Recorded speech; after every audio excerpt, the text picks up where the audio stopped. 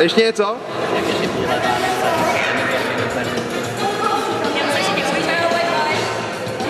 To nejstarší na světě.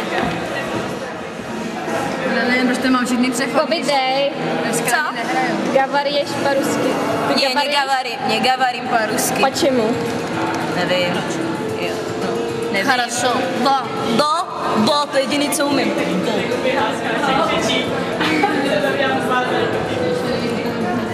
Poletu. Ty gavaríš po-rusky. Když se řekne Rus, vybaví se mi Lenin, Stalin, Putin, vybaví se mi ruská zmrzlina, jen počkej zajíci. A taky se mi vybaví soudruh Mrazík. A právě s touhle pohádkou nám teď sem přijet, tuto pohádku nám přijede zahrát sovětský socialistický herecký kroužek v čele s Janou Josefovnou Erbenovou, která je překladatelka, scénáristka, vypravěčka a kdybyste ji pak chtěli nějak zvlášť zatleskat, poznáte ji podle toho, že dobře plave. Dále máme poděkovat paní profesorce Pa- Bartojové, která je rusky učí, a kvartě B eh, v čele s paní profesorkou Jalůvkovou, eh, která připravila jejich krásné rekvizity, které zatím nevidíte. Já už je sem pomalu začnu nahánět za mě. Eh, Ještě bychom potřebovali nějakýho exota, eh, který by jim držel jeden strom. Ty se tady tak hezky usmíváš, jsi nejblíž. Takže poprosíme Lukáše Egerta.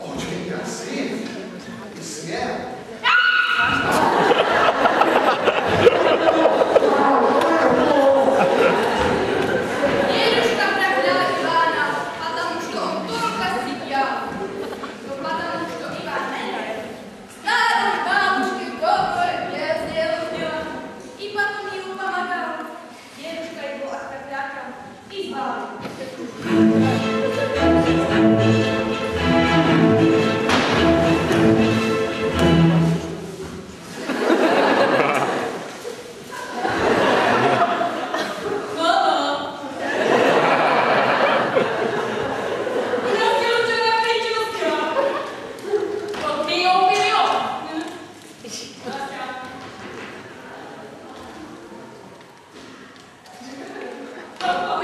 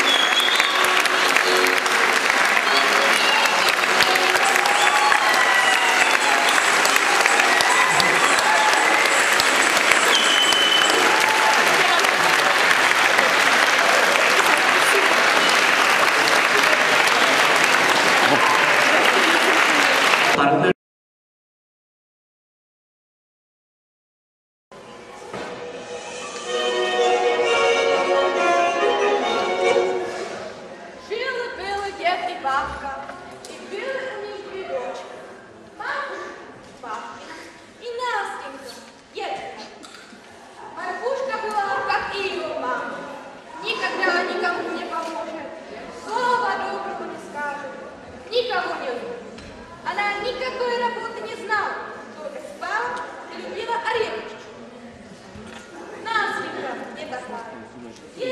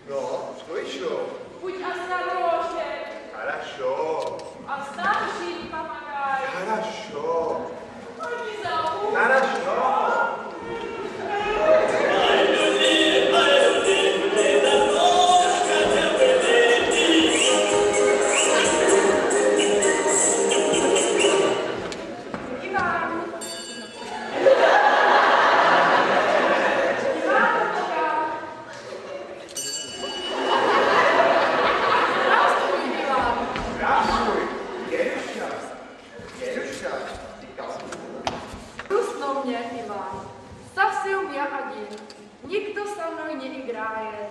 Пойди со мной немного поиграть. Догонишь меня, подарю тебе стрелы. С тобой? Я же тебя раз еще подогоню. Как ты думаешь?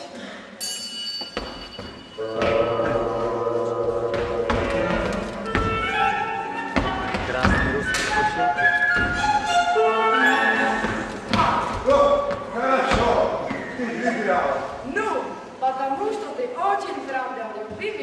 подарю тебе,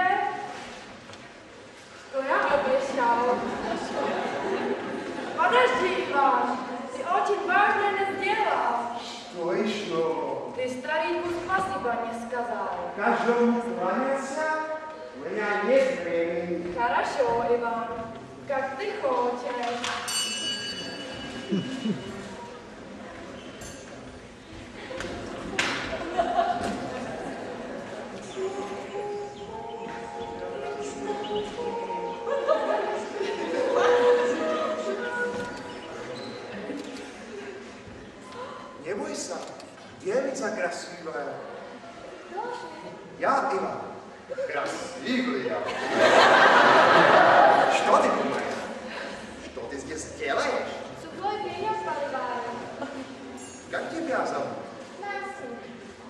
нас Иуда, возьми меня замуж. Я очень красив и сумел. Я очень красив и смел.